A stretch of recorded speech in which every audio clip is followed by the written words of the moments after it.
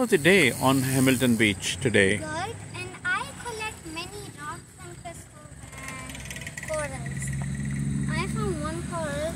I made it uh, change colors back to life from dead, uh, and uh, I also bought some crystals and rocks in here and two uh, corals in here. And it, uh, in this, I have One is having the branching corals, the other is yeah, having. it is a butterfly. Okay, okay, yeah, lots of things, lots of things. And what do you say about this uh, total Lake Ontario experience at Hamilton Beach?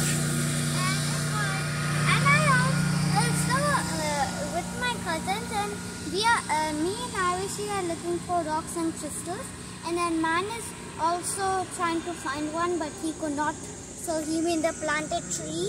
And uh, uh, uh, will make rain come on it and uh, he and You were trying to plant a branch in the beach, that doesn't work. Yeah, but uh, we need rainwater. So in my rain, so he kept it here. So by few days, uh, it will rain and will plant a tree. That was uh, me and Arman and our plan. So you enjoyed the day?